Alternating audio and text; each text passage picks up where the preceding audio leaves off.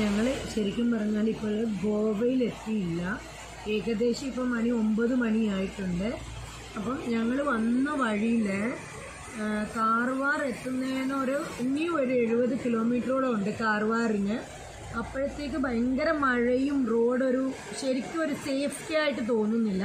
അപ്പോൾ കണ്ടിന്യൂസ് ആയിട്ട് മഴ പെയ്യുകയാണ് അപ്പം ഞങ്ങൾ സാധാരണ അങ്ങനെ എന്തെങ്കിലും നമുക്ക് പോകാൻ പറ്റാത്ത ബുദ്ധിമുട്ട് വന്നാൽ നമ്മൾ സാധാരണയായിട്ട് അവിടുത്തെ ഇന്ത്യൻ ഓയിലോ അല്ലെ ഭാരതിന്റെ ഏതെങ്കിലും പെട്രോൾ പമ്പ് എച്ച് പി ആയാലും നമ്മൾ ഏതെങ്കിലും ഒരു petrol pump twenty four hour ഉണ്ടെങ്കിൽ അവിടെ നമ്മൾ സേഫായിട്ട് അവിടെ ഇരിക്കുകയാണ് ചെയ്യുന്നത്.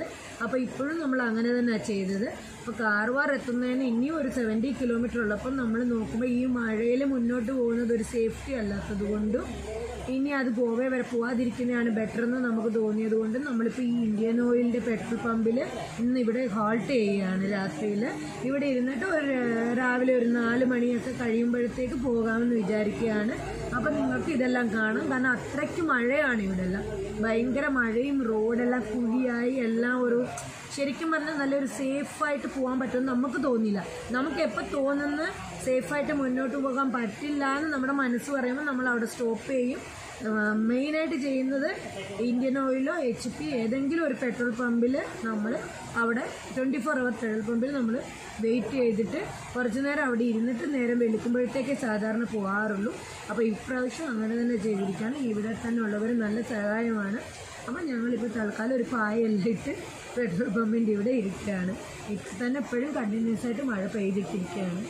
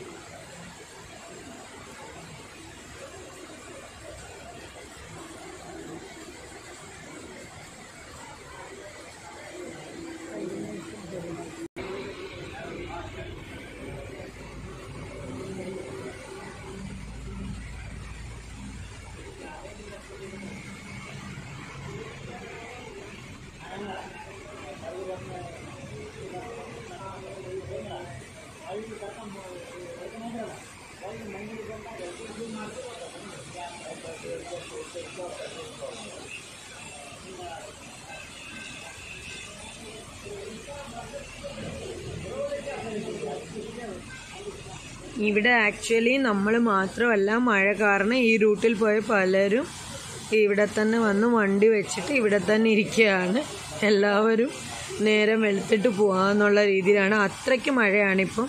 ഈ കാർവാർ കാർവാർ ഇനി എഴുപത് കിലോമീറ്റർ ഉണ്ട്. ഈ ഏരിയയിൽ ഫുള്ള് അപ്പം നമ്മൾ ഗോവയിലുള്ള നമ്മുടെ ഫ്രണ്ട്സും നമ്മൾ വിളിച്ചപ്പോൾ അവരും പറഞ്ഞത് അവിടെയും മഴ ആയതുകൊണ്ടും അതുപോലെ ഗോവയിൽ നിന്ന് ഈ ഈ ഈ റൂട്ടിലോട്ട് വന്ന പലരും നമ്മളോട് അവിടെ മഴയാണെന്ന് പറഞ്ഞത് കൊണ്ടും കൂടാണ് നമ്മളിവിടെ ഹാൾട്ട് ചെയ്യുന്നത്. അപ്പം രാവിലെ പോകുന്നു.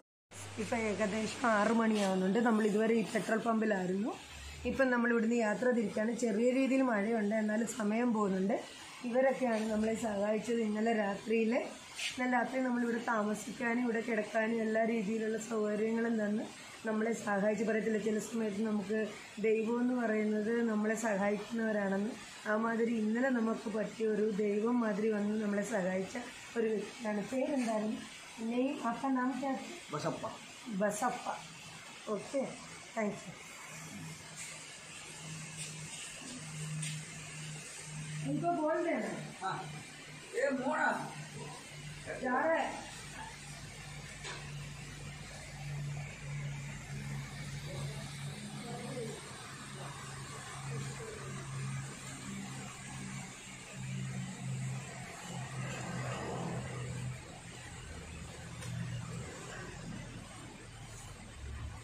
ഗുഡ് മോർണിംഗ് ഫ്രണ്ട്സ് ഇപ്പം നമ്മൾ രാവിലെ ഏകദേശം ആറ് മണിയായി. നമ്മൾ ഇന്നലെ രാത്രി മുഴുവൻ ആ പെട്രോൾ പമ്പിൽ ഇരിക്കുമായിരുന്നു പെട്രോൾ പമ്പുള്ളവരാണ് നമ്മളെ സഹായിച്ചത്. ഇപ്പോൾ ഒരു ആറ് മണി കഴിഞ്ഞപ്പോഴാണ് ചെറുതായിട്ടെങ്കിലും വെട്ടം വന്നു തുടങ്ങിയത്.